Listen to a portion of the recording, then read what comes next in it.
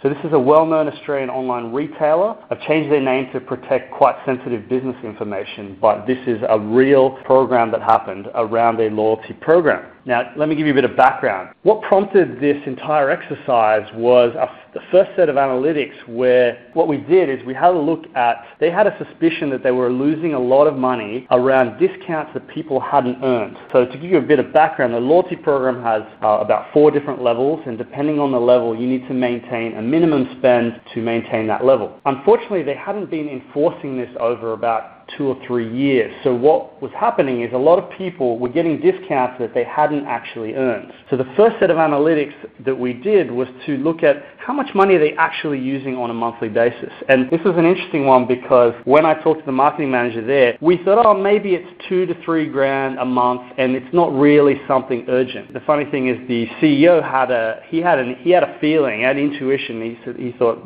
we're actually losing a lot more money. So when we did the first set of analytics, we actually found that they were losing 50k a month. So suddenly this project became absolute top priority. Now the problem was they had a lot of discussion about the loyalty level. So if they were going to enforce these loyalty levels, they also wanted to essentially refresh them because they hadn't been changed in a while. The marketing manager actually took me aside and said, look, she'd been there four months and she'd already attended five meetings about loyalty levels. The meetings were just people stating their opinions, different people in operations, in marketing, and in management, essentially saying, look, I feel like it should be this or it should be that. And the result was total inaction. They hadn't changed it in two years because no one could agree on what it should be. Now, the other thing is, when they realized that they were losing this much money, they were also concerned that if they were going to enforce a rollback, that they would get a massive customer backlash. And, and that's something they were very concerned about, and it had stopped them uh, in the past from doing anything about it. So that is the background. That's the kind of challenges that we went into for this particular program. And of course, the main tool we used was data mining and, and big data. So it's all around that to solve some of the problems that we had. So I'm going to take you through the kind of process we went through. So the first thing was to look at the loyalty levels that they had. Essentially, they had four different levels, which are here, with a discount level. So 20, 15, and 10 are the discounts that you receive at each level. Now, these had evolved over time. I couldn't get anyone to, to tell me why they'd actually chosen these values. So my theory was that these current levels didn't actually gel with reality at all. And of course, no one could prove it or disprove it because no one had ever done any kind of analysis. So the first question that we asked was, what loyalty levels should be used? And the way we answered that was using a data mining technique called clustering. So that's just a nice word to remember if you're ever talking to someone about doing this kind of analytics.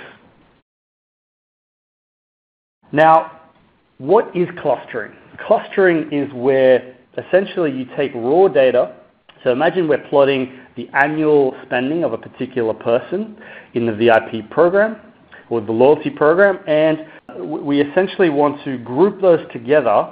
In clustering, what we do is we pick out a number of groups, and it will show us visually where these different data points match. So what you're seeing is like four different circles where the data is being grouped together. How do we actually apply that? What we did was we got the data from the CRM on the annual spending for everyone in the loyalty program, and then we asked the data scientists to put it into four clusters, four natural groupings of spending. And this is what we got. The problem with this is that we can see the entire range of the cluster, but we can't see where the spending is concentrated. So for example, in the fourth cluster, this is people spending per year anywhere from 10,000 to roughly $1,000. But we don't get an indication of where is that concentrated. Is it at the top? Is it at the bottom? Is it the middle? That was the next challenge. What do we do with these clusters so that they're more useful for a marketer? Let me take you back to a bit of high school mathematics. Uh, let's talk about average. I think everyone has a good grasp of average. Uh, standard deviation is relatively simple. It's, it's, you don't really need to understand too much about it. It's all about the concentration of data.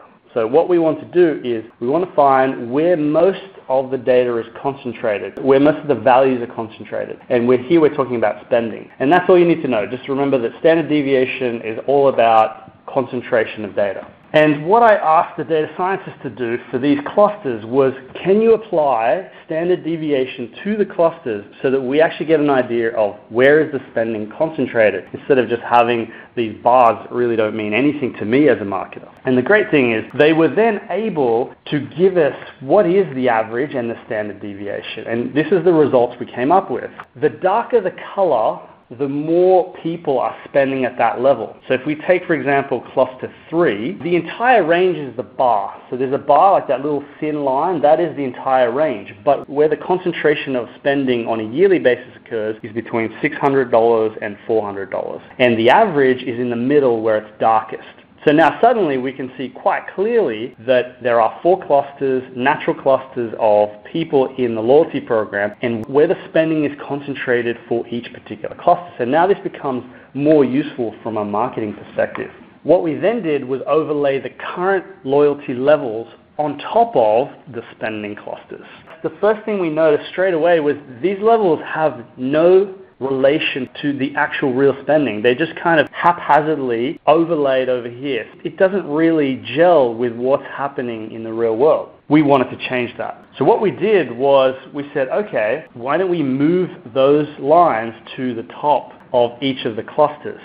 Rather than just having these lines where they are, we move them to the top of each cluster and the reason we went for this is what we call the exclusive model. It's where there's less discounts because of the cost, because if you put it above where the average spending is occurring, then you're actually incurring less discounts. And that everyone in the different levels has something to aspire to because usually the level is above where they're at. So the great thing about having done this exercise with the client is essentially within 20 minutes, what they couldn't agree on for two years, they were able to agree that, okay, these were the new loyalty levels. And operations marketing and the CEO were all able to say, okay, this is what we're going to do. And that was a massive relief for the marketing manager because this had been going on for two years, debating the loyalty levels, and nothing had ever been done.